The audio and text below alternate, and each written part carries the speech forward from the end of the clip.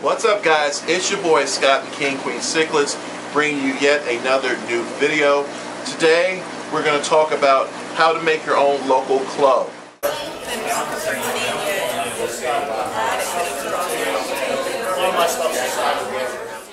Now before we get started, please hit that subscribe button if you haven't subscribed already. Hit that notification bell so you know every time I upload a new video or go on live and hit that thumbs up if you enjoy this content hit the thumbs down if you didn't enjoy it but leave me a comment below so I know what I can do to improve your experience on King Queen Cichlids. Now with that said, let's get started with our show. Now, as many of you know, I created the Cichlid Club of York about eight years ago. November 2011 is when I created it. So let's go over why I created it so you get a better understanding of that.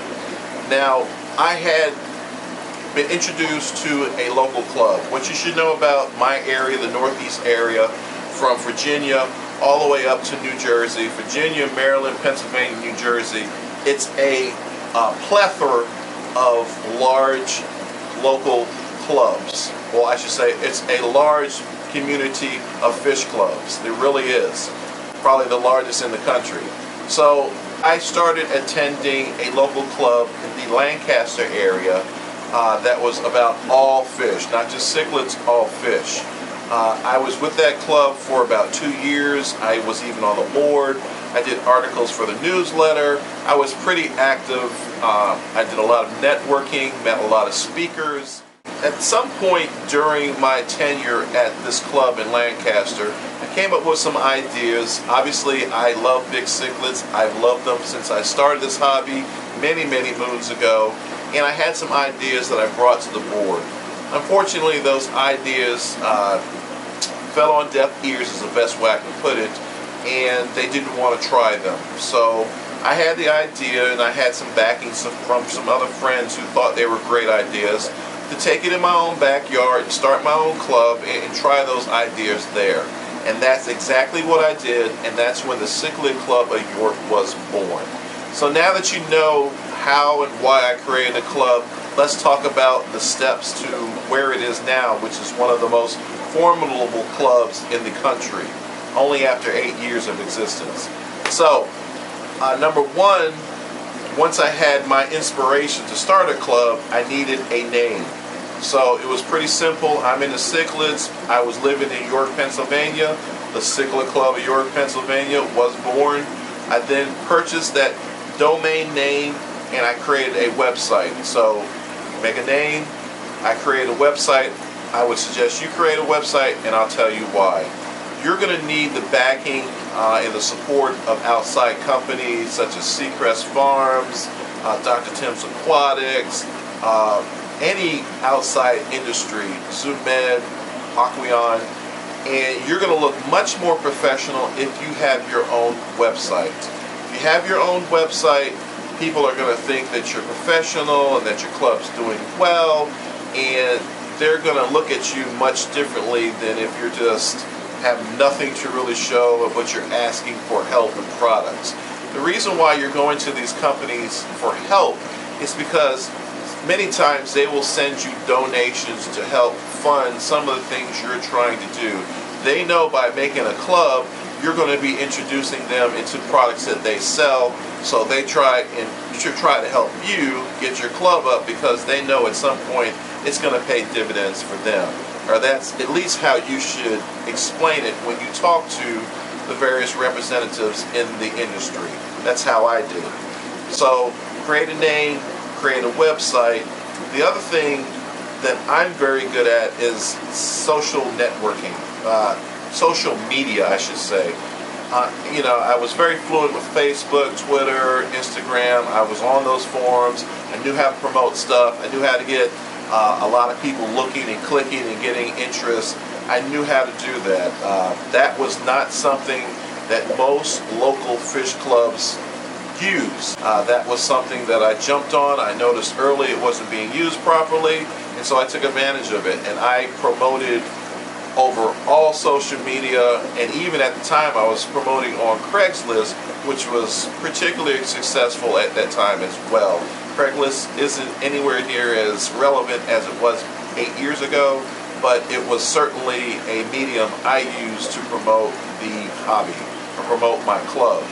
So, got a name, you got the domain name, you're, you're promoting on social network. I then created my own page on Facebook because Facebook was the number one forum out there uh, where people were gathering and meeting and speaking. I mean, Facebook is still huge today.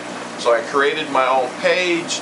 Uh, I made it smartly. I made it where people could make their own posts, interact, and get excited, and that really took off. That that Facebook page, along with our website, really took off. So that was great. So I really had some momentum going. I had people excited about the website. The next thing you need to do, logo. You have to have a great logo to go along with your club. Things are visual, whether you realize it or not, visual stuff is important, whether it's your logo for a club or your thumbnail on a YouTube video, how it visually looks and if it's appealing plays a large measure in your success. So I ran a contest asking people to create a logo for the Cichlid Club of York, and I paid that individual who had the best one, the one that I picked, I paid them $50. That's right. I got the logo that's been I've had for eight years. I only paid $50 for it. So you have now you have a name, you have a website, you have social media covered, you now have a logo to promote. So what's next? What's next is you need to make sure that you have an audience that wants to participate and actually meet up every month. Uh, when I first started, I didn't know if it was going to be monthly. I said it was. I was going to wait and see how the first meeting went. So now you need to start a date. You, you need to put a date out there and say, hey, would you guys be interested in meeting on a monthly basis, talking yes! fish, and having a club meeting? Based on that response, and I got an overwhelming response that people wanted to come, I then had to go to our next project, which was find a place to meet at. Now finding a place to meet at can be very, very difficult. So I'm going to take you to a location that kind of embodies what you should be looking for and the things you should be asking for when you get a place.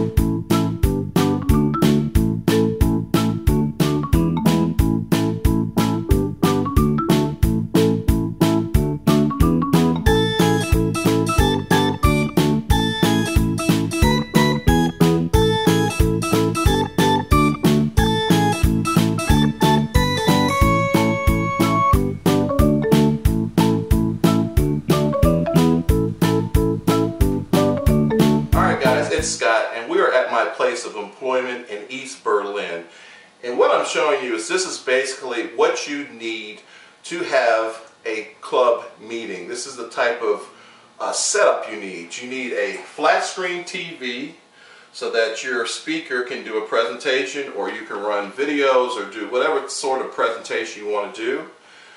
Uh, you need obviously places to put the computers and stuff on, shelving, and then you need a wide uh, arrangement of chairs. I would suggest that you should expect anywhere from 20 to 40 uh, attendees coming to your first meeting the first year. So that's some things that you don't think about when you're renting a place is that you're going to need chairs, you're going to need something uh, to show off the presentation such as a flat screen TV or some sort of projection screen or something like that you can use. Uh, tables, chairs, you want to have a bathroom so that people have access to the bathroom whenever they need to go. If you can make it handy capable uh, ready, that would be great. Uh, that way everyone can be involved in it. But this is just a look at the bare necessities, quite honestly, of what you need to run a successful fish club. Chairs, tables, flat screen uh, TV for presentations, and or a projector and, and projection screen. Um, and then I always have backup, like I have an extra TV, extra supplies, extra wires, stuff like that. Alright guys, and we are back. So, finding a place to have your club meeting is very important. If, and I, as I said before, I had already in my mind set a budget of $200 a month. So I knew that I could rent the local clubhouse that was near to me uh, and still comfortably pay for the rest of the expenses that I would need to pay for to have a successful meeting. If you don't have a budget, if you don't have the funds to do that, again, there are clubs out there, there are churches out there, and there are libraries, and maybe possibly some fire halls that will allow you to use it, to use an area for an hour or two free of charge. But you have to look around, you have to ask, uh, you might have to barter and, and in exchange for that, give them something else, whether it's service or volunteer work. But there are ways you can get a, a spot or an area where you can run these club meetings. All right, so you now have a name, you have a website, you have social media covered, you have a logo, you've got people interested in coming, you now have your place. Let's talk about the structure of a meeting. Meetings work like this. Let's say you start at the meeting starts at one o'clock. Normally you open doors at 12:30. People come in, start networking for about a half an hour, seeing, you know, talking to various people, seeing what's possibly going to be at on the in the auction, and we'll talk about the auction real soon. Uh, and then at one o'clock, normally you have a speaker that comes in, does a presentation. It's quite a, a daunting task. Uh, but you'll see if you keep looking at the priority list, it'll be updated regularly. Um, of course, my Lake Victoria, my precious Lake Victorian cichlids. Uh, for about an hour, and then after that, there's a little more networking for about 15 to 20 minutes where you have refreshments. So, and then after that, the auction takes place.